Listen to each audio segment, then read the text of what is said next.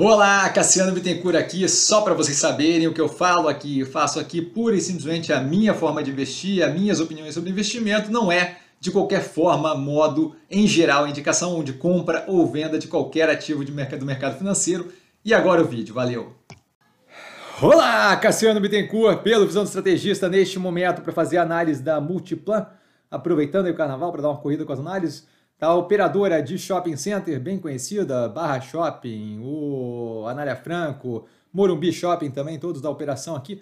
Tá, a primeira análise da operação com panorama geral, lá no quarto trimestre de 2022, eventualmente a gente vai rever aquilo ali, mas como é uma operação de shopping center, muda pouco à medida que o tempo vai passando, a estrutura como um todo. Tá, a operação roda muito bem, trimestre com leve piora nas margens EBITDA, nada que chame atenção, tá? melhoria na líquida e, se não me engano, também no FFO, no Funds from Operations, o fluxo de caixa para esse tipo de operação, em geral, muito alinhada e positiva. Tá? Na tela, a estrutura acionária, a gente vê claramente gestão familiar, tá? o CEO não me agrada, tá? não passa segurança ali, tá? falou de estar aberto e buscando oportunidades de investimento, é o que leva, no meu caso aqui, a dar um delta de passo atrás ali, porque esse tipo de coisa é o que define ali é, justamente a, como é que vai ser a história do CEO, certo? Quando você pega um negócio pronto é, do CEO anterior, que no caso é o pai dele, se não me engano, é, e toca aquilo ali, basicamente você tem que manter aquilo ali funcionando. Quando você começa de fato a dar seus passos e mover, aí a gente vê do que, que você é feito, quão positivo você é ou não é. Então aqui começa. Não acho que dá para destruir a coisa como um todo, mas acho que assim, você pode ver ali movimentos sendo feitos que não sejam os mais positivos. Então, ligo aí uma luz de observação daqui para frente, tá? Especialmente quando tiver anúncio de investimentos mais fortes. Aí. Evolução do preço desde a última análise na tela, levemente acima do que a gente tinha naquele período, nada que retire o caráter de desconto da operação. Tá? Então ainda vejo a operação como descontada, não vejo a qualidade operacional refletida no preço do ativo. Tá? A consistência de programa de recompra de ações na tela, vejo como negativo, acho que é tocar fogo em dinheiro, é comprar, gastar dinheiro com coisa que não faz sentido.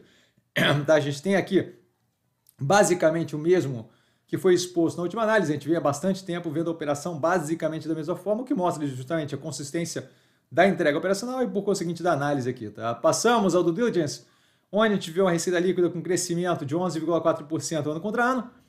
Same store sales na sequência, com evolução em geral muito positiva novamente. Tá? Tirando ali casa e office, casa e escritório. Tá? Mobile sempre dá uma clareza da fraqueza maior nesse momento desse setor que demora a responder, né? As pessoas vão primeiro comprar roupa, alimento e blá para depois querer comprar móvel e por aí vai. Tá outros indicativos operacionais na tela, como inadimplência, custo de ocupação e taxa de ocupação, todos bem alinhados, nenhum deles chama atenção de forma negativa at all, de forma alguma, tá? A gente passa aos dados ali, uh, mais dados ali operacionais, né, da operação financeira, é, do operacional financeiro, é EBITDA full, EBITDA cheio, incluindo desenvolvimento e venda de, de, de, de propriedades, 4,9% de crescimento ano contra ano, a margem 68,9% versus 73,1% no mesmo período do ano passado, que mostra justamente a queda falada. Tá? A operação apenas de shopping, desconsiderando o desenvolvimento e venda de terreno e tal, só a operação de shopping, que a gente também tem em geral lá separado para o Iguatemi, tá? com crescimento de 3% ano contra ano, margem de 73,2% versus 76,7% no mesmo período do ano passado. Como dito, a gente teve uma piora, essa medição aqui, em caso de shopping center, sempre ano contra ano, uma vez que a gente tem sazonalidade. Né? Períodos de Natal, por exemplo, gritantemente são mais positivos do que períodos fora dessa época do ano e por aí vai. Né? Dia das Mães afeta e por aí vai.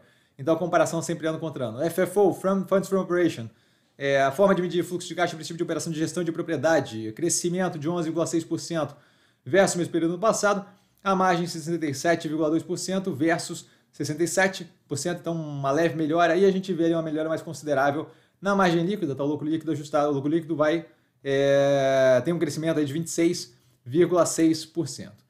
Passando a alavancagem novamente com controle, tá? sem nenhuma dificuldade, alguma oscilação para cima, mas muito, muito controlada, em 1,38 vezes dívida líquida sobre a EBITDA versus 1,32 vezes no trimestre anterior, um leve, leve aumento, nada que passe vagamente próximo de ser um incômodo. Tá finalizando, ativo roda muito bem. A gente teve uma leve piora do EBITDA no trimestre, o que não é problemático. Ela vinha numa crescente muito grande, mais do que natural que eventualmente tenha algum nível de oscilação. Vejo como descontado o preço versus a entrega operacional. Tá? Me incomoda um pouco a gestão familiar, especialmente um novo CEO, que não, não, vamos, ver o que acontece aí, mas não me passa muito confiança, tá?